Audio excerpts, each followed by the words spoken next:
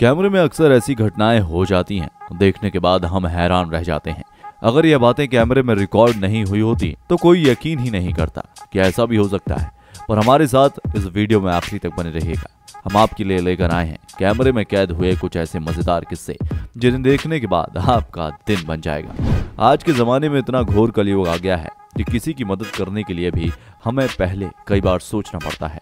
क्योंकि कुछ इंसानियत के दुश्मन मदद लेने के बहाने ऐसी हरकतें करते हैं, जिससे हमारा ही नुकसान हो जाता है।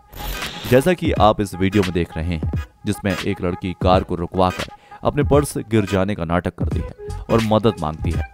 कार वाला बंदा भी मदद के लिए हाँ कर देता है, फिर गाड़ी में बैठा लेता है और फिर थोड़ी देर बातचीत होने के बाद लड़की कार को रुकवाती है और पैसे मांगने लगती है। आप लोग भी सुन लीजिए और देख लीजिए। जो तूने पहन रखा है ना सारा निकाल पैसे वैसे निकाल।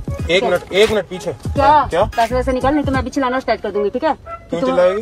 तुम मेरे मेरी लिफ्ट देखे मेरे को गाड़ी में बदतमीजी कर अच्छा मतलब लिफ्ट इसलिए लिया था कि ये काम कर ना देख दिमाग मत खराब कर निकाल दे। एक मिनट। ये लड़की चिल्लाकर और इन पर छेड़छाड़ का इल्ज़ाम भी लगाने की धमकी देती है।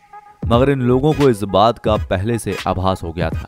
इसलिए इस बंदे का दोस्त कार में पीछे छुपकर पूरे वाक्य को वीडियो में रिकॉर्ड कर रहा था जैसी ही लड़की ने वीडियो रिकॉर्डिंग होती देखी तो लड़की की हालत खराब हो जाती है और वो इन लोगों से माफ़ी मांगने लगती है अरे आ जा आ जा आ जा ये गलती हो गई ठीक है माफ़ करो मुझे ठीक है यार प्लीज़ जाने दो मुझे लगा यहाँ पे साइड में हमारे देश में जो कानून है लड़कियों की रक्षा के लिए बनाए गए हैं इसका दुरुपयोग बहुत ही दुखदायक है अब इस शानदार वीडियो को भी देख लो जिसमें एक महिला मॉल में शॉपिंग करने के लिए जाती है।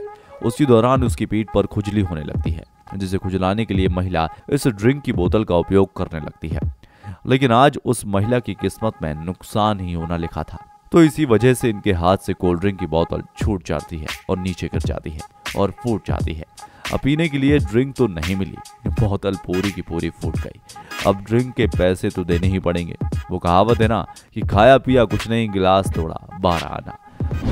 और दोस्तों, एक कहावत है कि जो दिखता है, वह बिकता है। इसी कहावत को बताते हुए कुछ सेल्समैन हम लोगों को अपने प्रोडक्ट के साथ कुछ ऐसे कारनामे करके दिखाते हैं, जिससे हम लोग उसे खरीदने के लिए बेताब हो जाते हैं। अब इस वीडियो में इस ग्लास बेच रहे सेल्समैन को ही देख लीजिए। जो अपने कस्टमर्स को अपने कांच की मजबूती बताने के लिए उसे बहुत ऊंचाई से ज़मीन पर पटक देता है। पहली बार तो कांच टूटने से बच गया मगर इस बार रिस्क उठाने से उसका मन नहीं बढ़ता और फिर जैसे ही दूसरे बार कांच नीचे फेंकता है तो पूरा कांच चकनाचूर हो जाता है। अब कस्टमर तो हाथ से गया ही। हाँ, अब कांच के टुकड़ों को समेटना भी पड़ेगा।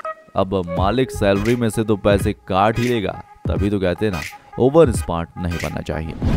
सोशल मीडिया के जमाने में हर किसी को फोटोग्राफी करवाने का बहुत भूत सवार रहता है और अपने फ़ोटो को hashtag crazy, hashtag new style और ना जाने कितने प्रकार के हैशटैग के साथ अपनी फ़ोटो पोस्ट करने का शौक रखते हैं। इसी में कुछ लोग फ़ोटो क्लिक करवाने के चक्कर में ऐसे मज़ेदार कांड कर देते हैं, जिन्हें देखकर कोई भी अपनी हँसी नहीं रोक पाता। अब इन दोनों अच्छे दोस्तों को देख लो। बारिश के मौसम में फ़ोटो के लिए कीचड़ वाली जगह पर ही यह लोग सफ़ेद कपड़े पहनकर फ़ोटो खिंचवाने जाते हैं। इनका प्लान कुछ ऐसा था कि लड़का अपनी फ्रेंड को कीचड़ के पास ले जाकर उसे नीचे झुकाकर पीछे से उसके सिर को पकड़ लेगा। तो फ़ोटो मस्त आएगी, मगर मैडम का वेट कुछ ज़्यादा ही था, जिसे उनका पार्टनर संभाल नहीं पाया। और फिर गई भैंस कीचड़ में। वैसे आपको क्या लगता है, दुनिया के टॉप बेवकूफ़ों में दस लोगों को छाट कर उनकी लिस्ट बनाई जाए। तो इनका नंबर कौन सा आ जाएगा? आजकल छोटे बच्चे भी बहुत ही ज़्यादा समझदार और होशियार हो गए हैं और इस जमाने के बच्चे हर किसी को देखकर उनमें से कुछ ना कुछ सीख लेते हैं, जो कि बहुत ही अच्छी बात है। अब इस बच्चे को ही देख लो, जो हर रोज इतने ऊँचे पलंग से नीचे उतरकर कमरे से बाहर चला जाता है। वो बच्चा यह सब कैसे करता है? यह देखने के लिए एक दिन उसकी माँ ने कमरे में कैमरा लगा देती है। जिसके बाद कुछ ऐसा सीन देखने को मिलता है। यह छोटा सा बच्चा खूब समझदार और होशियार है। इसने नीचे उतरने के लिए एक चादर, कंबल, तकिए को एक के ऊपर एक नीचे फेंका और फिर जब उसको लगता है कि अब मुझे कुछ नहीं होगा तो वो अपने छोटे छोटे हाथों और पैरों की मदद से नीचे उतरकर कमरे से बाहर आ जाता है। दोस्तों, कुछ जानवर बहुत प्यारे होते हैं और उन जानवरों में से एक हाथी तो बहुत ज़्यादा ही अच्छा होता है। अब इस प्यारे हाथी की हरकत का वीडियो ही देख लो। इस हाथी को जंगल के दूसरे छोड़ जाना था, मगर इसके रास्ते में बैरियर लगे थे। फिर भी इतने वज़न के बावजूद इस बैरियर पर चढ़ना चालू कर देता है। बहुत परेशानियों और तकलीफों के बाद आखिरकार वो उस बैरियर को पार कर लेता है। इससे हम सबको ये सीख मिलती है कि अगर एक बार हम जो काम करने की ठान लें तो उसमें सफलता ज़रूर मिलती है। साथियों, हमारे देश में कुछ लोग तो ट्रैफ़िक सिग्नल्स पर जेब्रा क्रॉसिंग के आगे आकर खड़े हो जाते हैं। फिर भी आजकल रेड लाइट क्रॉस करने पर जुर्माने से बचने के लिए ज़्यादातर लोगों में ट्रैफ़िक नियमों को फॉलो करने का मैनर्स नज़र आने लगा है। मगर विदेश में ट्रैफ़िक नियमों को बहुत ज़्यादा महत्व दिया जाता है। अब आप लोग इस वीडियो को ही देख लो, जिसमें कुछ लोग इस गाड़ी के बोनट के ऊपर से चढ़कर आगे जा रहे हैं। जानते हैं क्यों? कार के ड्राइवर ने अपनी कार को जेब्रा क्रॉसिंग के ऊपर लाकर खड़ा कर दिया। लोगों ने इसको सजा देने के लिए उसकी गाड़ी के बोनट के ऊपर चलना शुरू कर दिया। जिसके कारण उसे अपनी गलती का एहसास हुआ और फिर उसने अपनी कार को पीछे कर लिया। सच में, लोगों का सजा देने का बहुत अनोखा तरीका था। लेकिन अगर ऐसा करते समय किसी ने गाड़ी चला दी तो सबको चोट लग जाएगी। फाइनली लेने के देने पड़ जाएँगे। इसलिए आप लोगों को ऐसे से भिड़ने की ज़रूरत नहीं है। ऐसे लोगों के लिए ट्रैफ़िक पुलिस ही सही है भाई, और वो ही इनको देख लेगी। दोस्तों, अगर आप खाली सड़क से जा रहे हैं और आपके बाजू में बिना ड्राइवर की कोई गाड़ी तेज़ी से गुजर जाए तो क्या होगा? अरे भाई, मैं तो सच में डर ही जाऊँगा। और इस वीडियो में भी ऐसा ही कुछ इस भाई साहब के साथ भी हुआ। जब ये सड़क पर से जा रहे थे इसके पीछे से एक ऑटो अपने आप चलने लगा। भाई साहब ने इसे रोकने की बहुत कोशिश की, लेकिन उस ऑटो ने पहले वहाँ खड़ी एक गाड़ी को टक्कर मारी और फिर अपने आप चलकर वहाँ खड़ी दूसरी गाड़ी को ज़ोर से ठोक दिया। तो क्या उसमें कोई भूत था? नहीं। असल इस ऑटो में इलेक्ट्रिकल फेलियर प्रॉब्लम होने के कारण वह ऑटो ऑटोमेटिक स्टार्ट हो गया और पार्किंग में आगे पीछे ना रोल हो जाए। इसके लिए उसके ड्राइवर ने इसे ग्रेयर पर रखा था तो इसे अपने आइडियल पोजीशन के हिसाब से आगे चलना था। वैसे ऐसे हादसे बहुत दुर्लभ और बहुत ही कम देखने में आते हैं। इस वीडियो में आप जिस व्यक्ति को देख रहे हैं, हरियाणा के करनाल में रहने वाले बाल रोग विशेषज्ञ डॉक्टर मनोज मित्तल हैं। और उनका मानना है कि भारत का राष्ट्रीय पशु गाय माता होनी चाहिए। और कहते हैं कि डॉक्टर जी गाय के गोबर से मिलने वाले फ़ायदे समझाते हैं।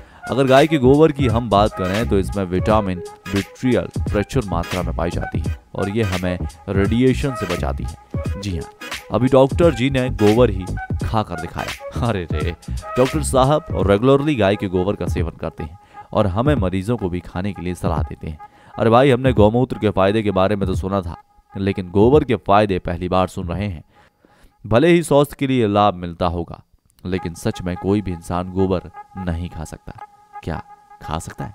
अपने देश में टैलेंट की कोई कमी नहीं है। कुछ भी हो सकता भाई। हिमाचल प्रदेश के इस व्यक्ति को देख लो जी। इतनी सुंदर और मधुर धुन बजा रहे हैं।